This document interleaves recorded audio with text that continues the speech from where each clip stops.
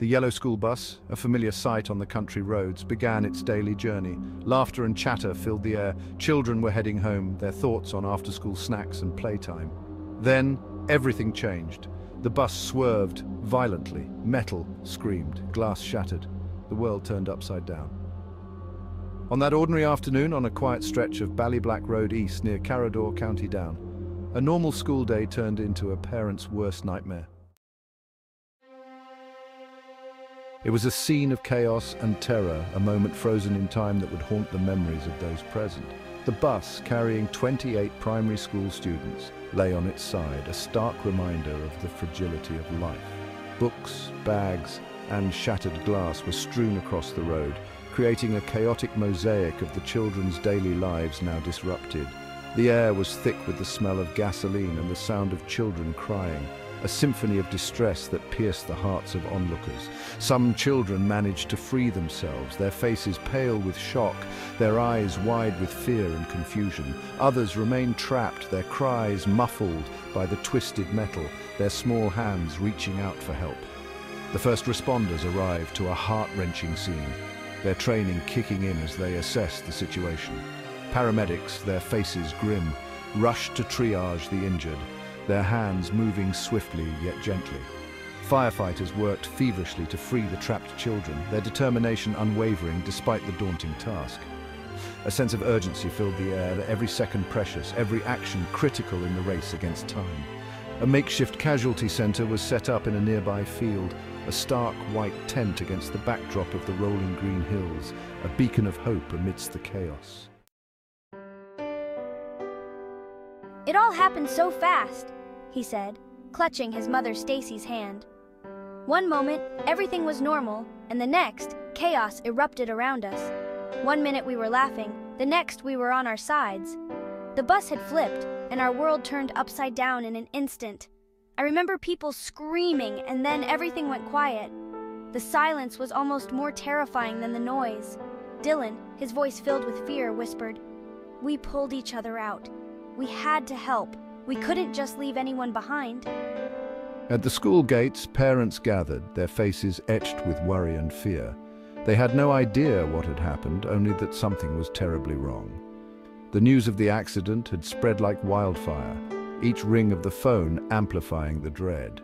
Every call brought more questions than answers. They clung to each other, seeking solace in shared anxiety as they awaited news of their children. The uncertainty was unbearable, but they found strength in unity. This is a parent's worst nightmare. The bravery of the children and the swift actions of the emergency services were remarkable. Our thoughts and prayers are with the injured children and their families. We are a strong community, and we will get through this together.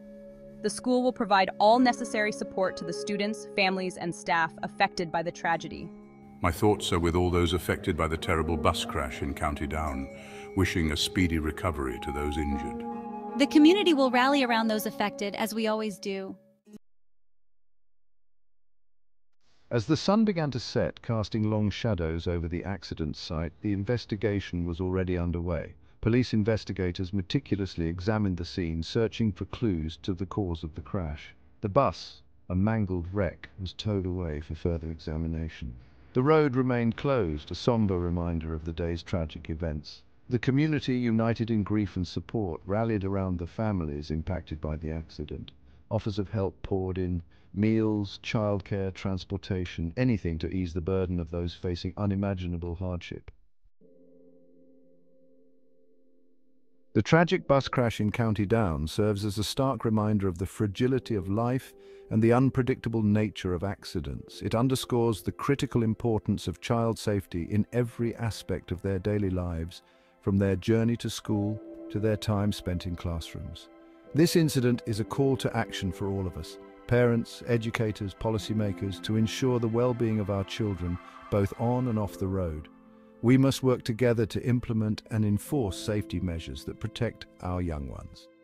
As we strive to understand how this tragedy occurred, let us also remember the importance of community.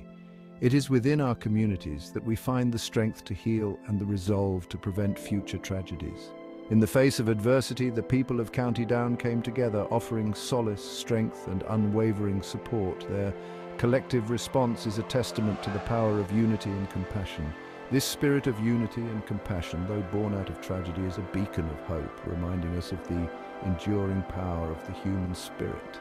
It shows that even in the darkest times, we can find light through our shared humanity. Let us carry this spirit forward, working together to safeguard our children and strengthen our communities.